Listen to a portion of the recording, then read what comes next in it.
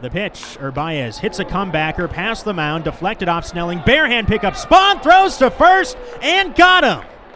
Well, it's not an immaculate inning, but it was an immaculate play by the second baseman Spohn, charging in to field a deflected grounder and barehanding onto first to retire Urbaez.